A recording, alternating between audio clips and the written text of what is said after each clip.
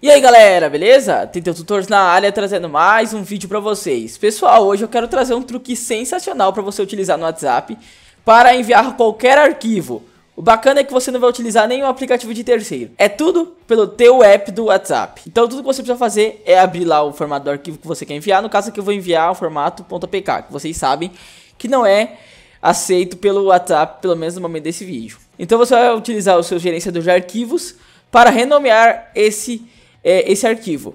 Eu recomendo então que você ou duplique, caso você queira, ou então você pode mesmo renomear aqui.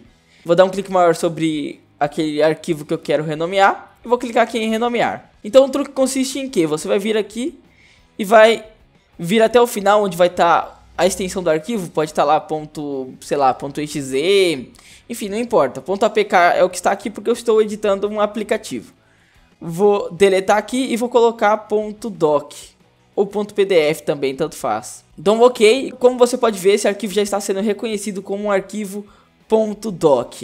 E agora é só a gente enviar para o WhatsApp. Abriu a conversa aqui do WhatsApp, vou clicar no clipezinho para fazer o envio normal de qualquer arquivo. E você vem até a opção documento. Aqui você pode é, procurar pelo documento que você criou lá. No caso ele já está aqui, tá? E tem esse nome aqui. Eu dou um clique em cima e clico sobre enviar. Como você pode ver, esse arquivo será enviado para o meu contato. E aí você vai ter que passar as instruções para ele conseguir extrair esse arquivo. Vamos esperar o arquivo ser enviado e depois eu vou mostrar para você o que você deve fazer para que esse arquivo seja extraído pelo seu contato. Bom pessoal, então depois de ter esperado aí um bom período, tá? É, inclusive eu quis enviar um arquivo de mais de 30 megas para você ver que qualquer tipo de arquivo dá para ser enviado com esse truque interessante. O que que o meu amigo aqui vai ter que fazer para ele conseguir descompactar esse arquivo? Basta ele vir sobre o arquivo que vai estar renomeado como doc ou como PDF, dá um clique novamente, vá até renomear e aqui no doc você dá um clique na última letra, deleta até o ponto e coloca ponto .apk ou o nome da extensão do arquivo que você enviou para ele. Então você precisa necessariamente falar qual é a extensão do arquivo.